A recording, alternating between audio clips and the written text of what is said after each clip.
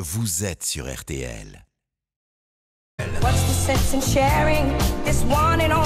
Il est 10h.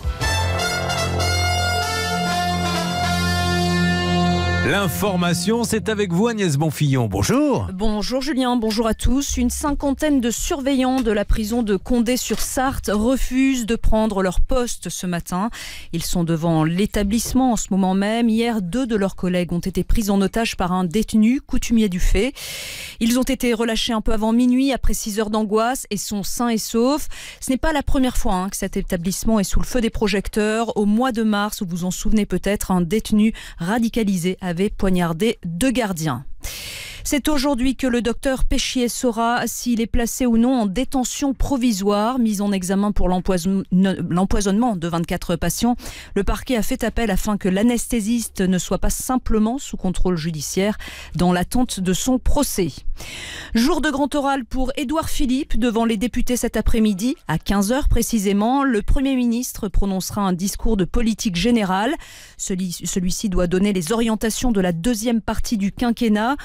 Chapitre économique, le secteur privé enregistre une hausse de création de postes, augmentation de 0,4% au cours des trois premiers mois de l'année. Cela représente 92 800 emplois selon l'INSEE.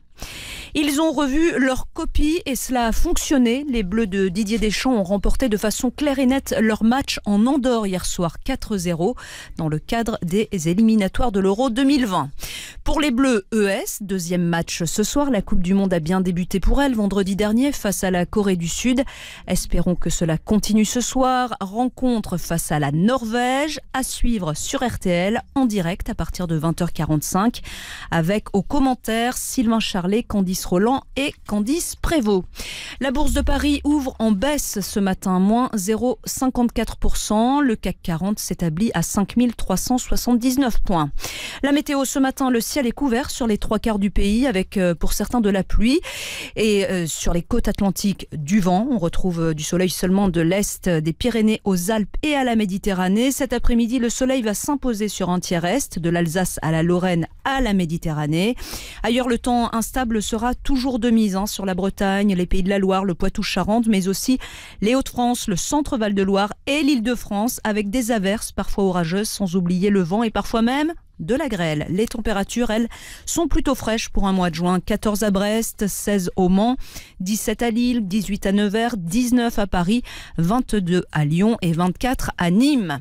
Les courses ont lieu à Saint-Cloud aujourd'hui. Voici les pronostics de Claude Pierre Santi. Il vous conseille de jouer le 9, le 3, le 4, le 6, le 5, le 2 le 14 et le 8.